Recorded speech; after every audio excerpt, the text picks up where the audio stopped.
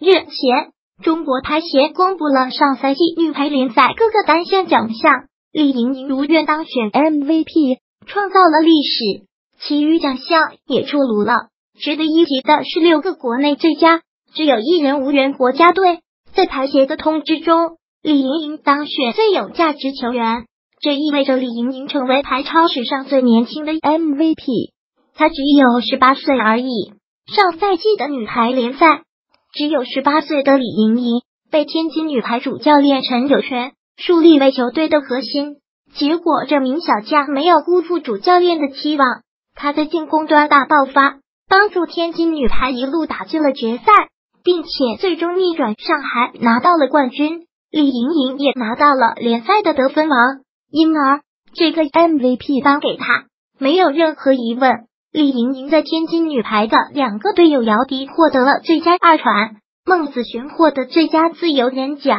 姚迪在联赛中的表现很稳健，他不仅仅活了李盈莹，还带到了王媛媛的进攻，很好的调动了天津女排的攻手，也是球队夺冠一大功臣。拿到最佳二传也是实至名归。孟子轩是上赛季天津女排一传体系的核心。天津女排能够夺冠，跟孟子璇出色的发挥是分不开的。李静、袁心玥和张常宁分获最佳口球、最佳拦网和最佳发球奖。他们三人中，李静最让人遗憾。如今的他已经彻底无缘国家队。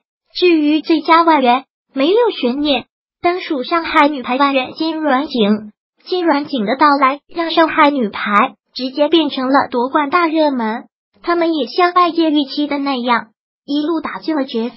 虽然没能拿到冠军，但是金软景带给上海女排的提升是有目共睹的。遗憾的是，如今金软景已经挥别上海女排。复刻单项奖最有价值运动员李盈莹，天津渤海银行女排俱乐部最佳口球李静，浙江嘉善西塘古镇女排俱乐部最佳拦网。袁心玥，巴黎深圳女排俱乐部最佳发球；张常宁，江苏中天钢铁女排俱乐部最佳二传；姚迪，天津渤海银行女排俱乐部最佳自由人；孟子璇，天津渤海银行女排俱乐部最佳外援；Kim Yun 康，上海光明优贝女排俱乐部。